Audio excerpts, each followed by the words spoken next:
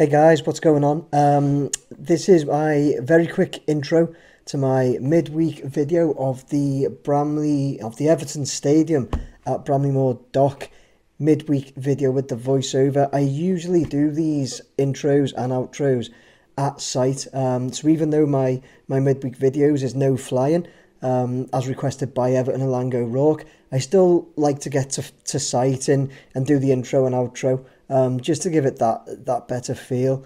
Um, I've got a really really busy week this week. Um, aside from aside from work, um, my YouTube videos, we are moving house, um, so I'm quite busy.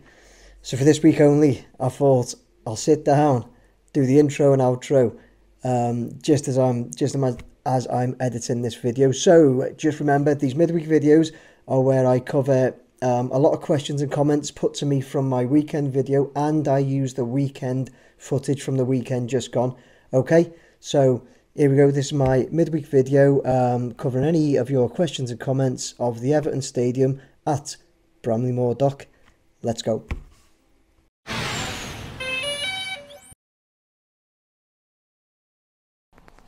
Right, okay guys, so we'll get straight into it. So first things first, I always like to just remind you that the footage you are looking at during this video is the footage from my most recent weekend video which was on the it was taken on the 12th of November uh, very early morning on Saturday the 12th of November. So that's the footage you're looking at and that's the footage that you've asked all these questions and comments on that we are going to cover and refer to now. So uh, yeah let's let's get straight into it. So here we go with the first one Okay, first one we have Tony Curran who says, Great vid once again, Nick. Thanks, Tony. At the end of your videos, when you do your still shots, is there any chance you could fit in a finished computerized shot of the stadium in between each pick? I think it would show how far each week's progressing. How far each week's progressing. Plus, I think it would look great. Do you mean something like this, Tony?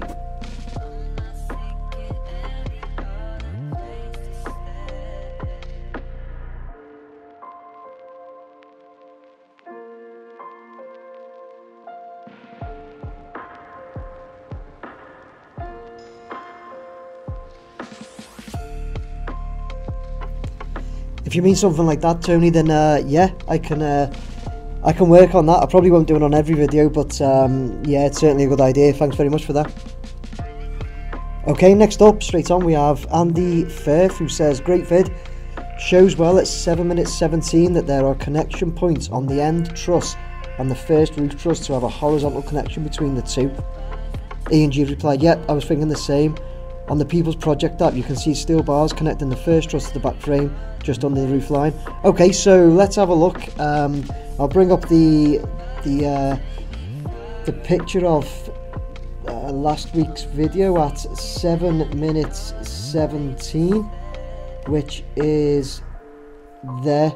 Okay, so I'm saying great vid shows at 7.17 there are connection points on the end truss and the first roof truss. So a horizontal connection, yeah. Okay, yeah, see, yeah, the horizontal connections, yeah. Um, those white, those white steels. So yeah, absolutely. Um, yeah, you, you can see that. Um, exactly how they're how they're connected from the top of like the top of the terracing to that roof truss. Um, yeah, good spot, good spot there, Andy. Um, we'll just have a have a look at that. So that's the picture, that's the still shot that Andy's talking about from 717.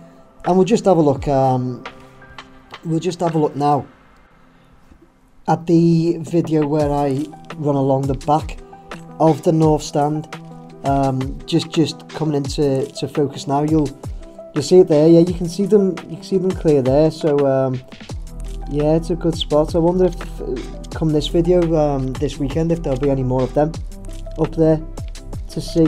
Um, I haven't had any uh, info yet that they've done they're doing any more lifts this week but uh, yeah good spot good spot. You can see them um, them horizontal connections, yeah, yeah, very good spot. Okay, moving on, we've got uh, we've got Fuck Nugget 88.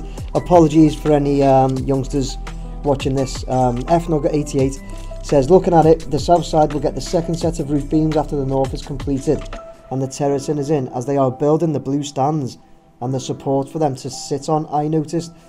Okay, Nugget, let's um, let's have a look at the south side. So you're saying um, it will get the we'll get the second set of roof beam that's the north's completed It turns in as they are building the blue stand and the support stand sits on. I know. So let's have a look at that south stand. Let's go. Okay, so if we first, if we take a zoomed in look at it, you can see, um, yeah, you can see blue steel at the bottom in the middle and to, to the left kind of by the um, the east stand. Let's we can get a better shot. Okay, so here's a shot um, coming down over the, the south stand from the southwest corner towards the southeast. And yeah, you can see the blue steels down on the on the left on the pitch area. That white frame as well is um, looks like they put them up to support those blue steels. So yeah, you can you can definitely see them there. So yeah, you could, I think I think you are right. That's that's definitely um, definitely going to be going to be next, isn't it? Um, who was that? Uh, F Nugget. Sorry, how do I forget that name? But yeah, yeah, I think you're definitely right anyway, mate. Okay, next up we've got Mark Hudson who says, Hi Nick, amazing video again and thanks for the shot of the pump house, no problem. One thing I noticed is the support for the roof truss comes quite close to the top of the stand. Are they permanent or just temporary? Is there a prize of a Mr. Drone beanie for the best comment? Um, no, Mark, there's no prize for the best comments. oh, nice try. I might do something. I might do something like that in future. So uh, thanks for the idea and uh, keep keep your eyes peeled. Keep watching to see. Um, but yeah, let's have a look. So then you've said the one thing you notice is the support for the roof truss comes quite close to the top of the stand. Are they permanent or just temporary? So let's just have a look at that. Okay, so I thought we'd use this shot where we're travelling up the, the north stand from the, the northeast corner um, up towards the northwest because they'll, they'll come into view now. Um, and I, I want to know what exactly what you mean when you say the supports. Um, Mark, do you mean the, the blue supports? Because if so, those blue supports are 100% temporary. Or do you mean the white, the white steel um, comes quite close to the top of the stand? So the white steel, I think that is permanent. Um, I, I think. Um, I mean, looking at this angle where I zoom into it,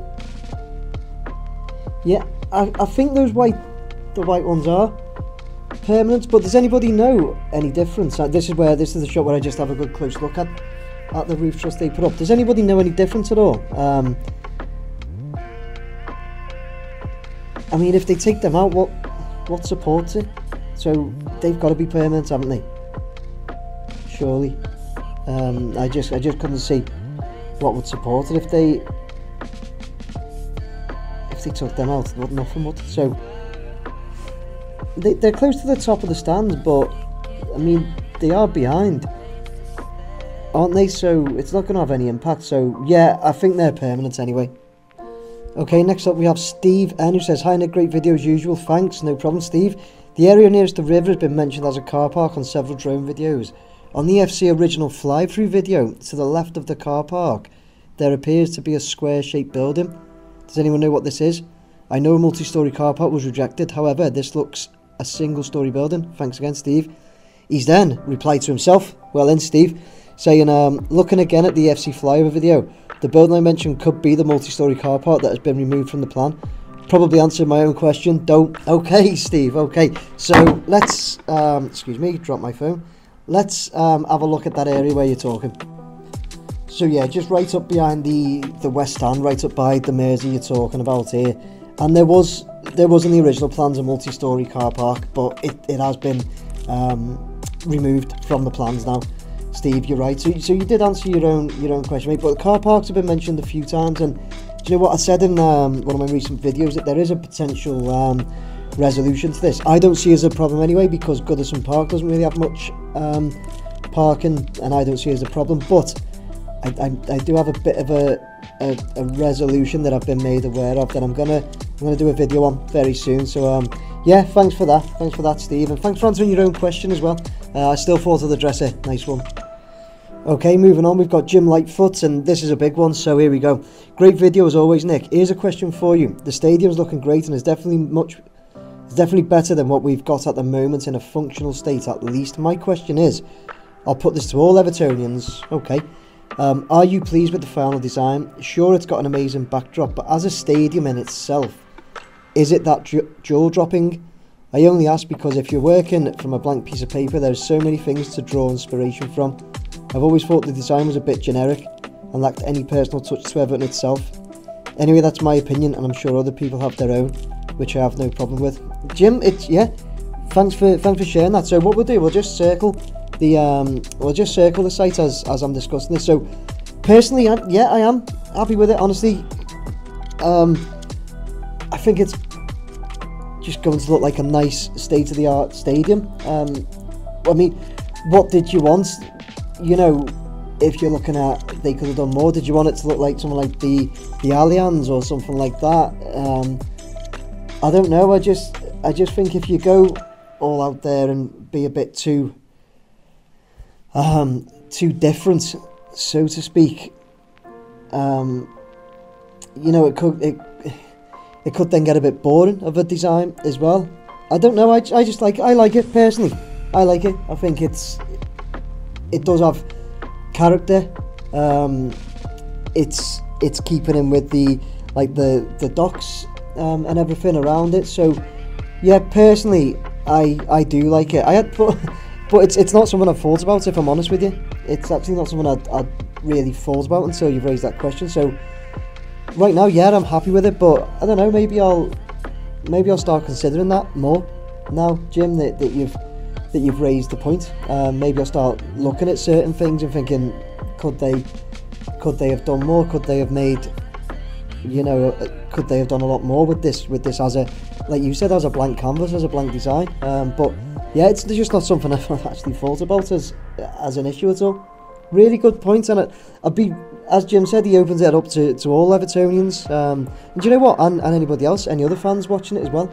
Um, yeah, mainly Evertonians, I suppose, because it's, it's their club. But um, yeah, it'd be great to get comments on that. Get get people's comments on what do you think of the design? Do you think they, they could have done more to to give it, you know, a better Everton touch, so to speak, or just be a bit more out there as a brand new stadium? And could they have done more with the design? Everybody, let's have your comments on that. That's that's a good one. Jim. I appreciate that. Like I say, it's just it's something I hadn't really thought of, but I will do now. Uh, appreciate that one, Jim. Well done. Okay, moving on to Mark 007 Davies. Nice name. 007. Um, not sure if you've mentioned the two large square cladding objects that are on the ground between the containers. They could possibly be the first pieces of the roof covering. I haven't mentioned that at all, Mark, because I hadn't noticed it. Let's see um, what let's see how, how, how close we can uh, have a look at that on, on my footage. So let, let's take a look. Okay, well even as I'm I'm coming round there in, in, in shot now, you can you can see them, yeah, right right in the middle of the two um, of the two trusses. There, I, I don't know what they are. Any ideas, anybody? Um, it does it does look like that sort of thing, like you've said, but could be anything. Let's um let's take another. See if we can take a, a bit of a zoom. Okay, this shot, the like the zoomed in, going across from the uh, going across the east stand there, there, right in the middle. See them clear there. Just not not sure what they are. Any ideas, anyone? And here you go, the zoomed in shot going over from the south stand. Um, bottom right of the screen there. You can see they do. It does look. Um, it's so difficult to see. It's a good spot. Um, anybody, any ideas what that is? Let us know, please. Okay, next up, Lee Craig Stewart. In this video, you can see a lot of changes. Yeah, I agree, Lee. Um, what is that white canopy-like construction on the north stand terrace? Um, well, we're going, we're going round the, um, we're going round at the southwest corner now, and you can see the, the white canopies. Um, wait there. Let let's zoom in again. Okay, as we zoom in here, Lee, do you mean the white, like the white steel structures that the blue steels are kind of coming out of? If so, I think they are simply um, just temporary support to, to also support that, that roof truss and the blue steels. So yeah, as we just zoom back up there, if that's what you, you're talking about, Lee, like I say, there, I'm sure that they're just temporary to support the, the blue steels. There's some in the south stand now as well, which we where we think the blue steels are going to go up there. So yeah, Okay, David Fogg. Are there bricks at the top of each corner of the stands ready to be laid? It does look like it. Um, really, David, I, someone I haven't noticed. Let's uh, let's have a good look at each each corner now. We'll go over the top of each one. Let's have a look.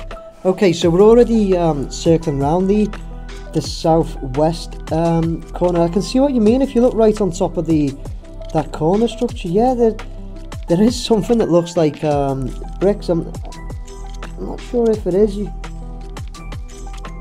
like the look almost like the red brick um, um, colour, but yeah, I'm I'm not sure if it is that. And just coming into view there on on the uh, the left of the the north stands. Let let's have a look. Okay, David. So we're going to start flying up. Um, look, you can see like a couple of packs there. This is the south, the south uh, west corner. You can see see a couple of packs there, right in the centre of the the north stand. You can you can see some. Um, not sure what they are.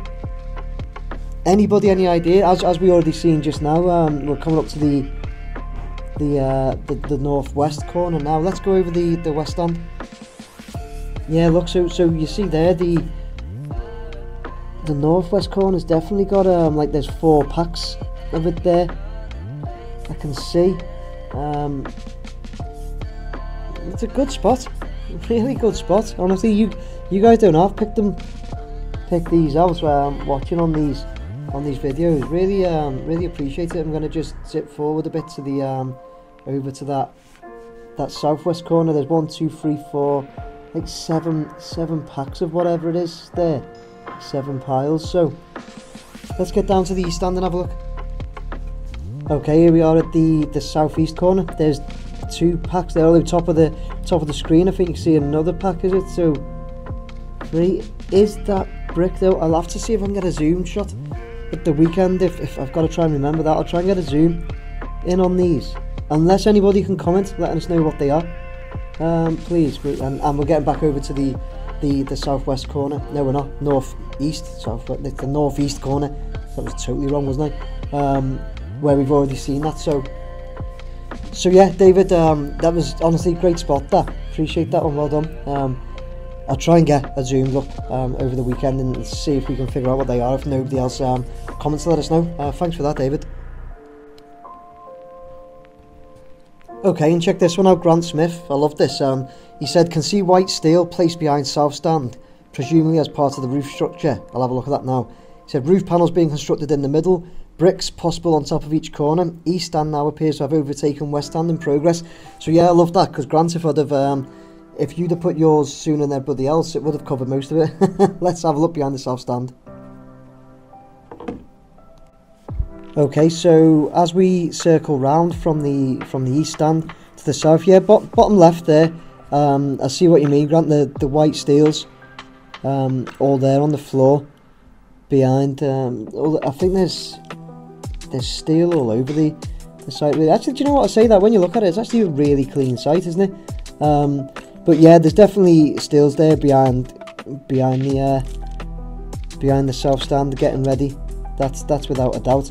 And the other points you mentioned, yeah, yeah, um, we covered most of it. But yeah, you said about the the east stand overtaking the west. I agree. The east stand does look does look bigger now, doesn't it? Um, definitely. You know, if you use this shot, which is it, it's quite close, but going along the the south stand, so that's the east you can see. Um, to the to the right, the picture, um, and here comes the west. Actually, I don't know. When you look, the west's got terracing and all sorts coming up, so I'm not sure on that one, but both coming along really well either way, both coming along great.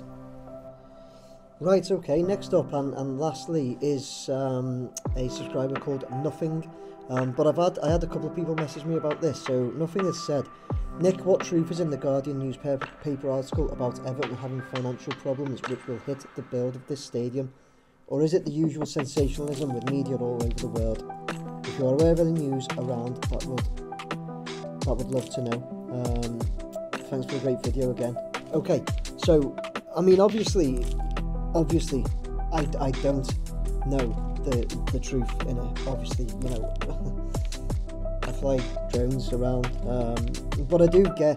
I do get why people ask because I, I, do get quite a bit of info because I because I do these videos. Um, I'm very lucky to have people um, contact me, um, you know, either anonymously or just asking me not not to give their, their details out and give me information on this particular uh, point. So, so to, to start with, um, I'll share a picture of the of the article now. It's an article by um, a chap in um, a report for the Guardian named Simon Goodley, um, and and here's a here's a screenshot of of the article. It's called um, "The Football Club, the Billionaire and the Bills, Everton's Race to Build Its New Home," and he he basically reports about um, about the club's finances um, going back going back a few years. Um, I'll put a link to the article in my in the description as well. By the way, everyone, um, it is a good read.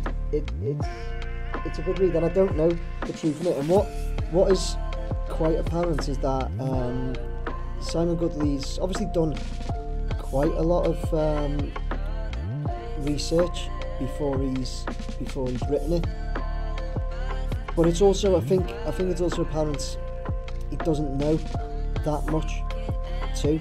Um, he's done quite a lot of, of research into one of the um, one of the funders. Um, let me let me locate them. It's it's a company named. Ooh, it's, it's in here somewhere. I'm, I'm scooting through to have a look. Sorry. Um, it's a company named. It's going to come up right now.